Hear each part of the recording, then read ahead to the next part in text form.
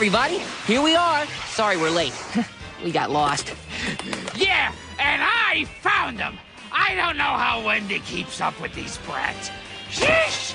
With Peter Pan here, I've got an idea how Donald can get his wish. For today's special musical act, we're going to need a volunteer. And that volunteer is Donald Duck.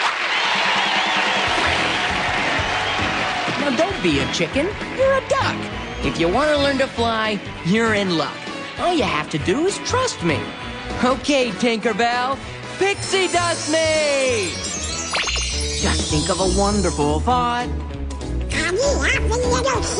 Like sailing on the ocean blue, or Daisy Duck in love with you, and in the blink of an eye, you can fly.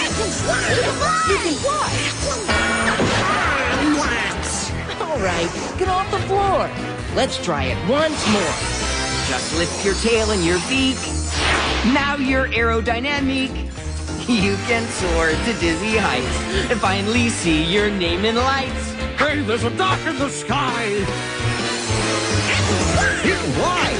You can fly.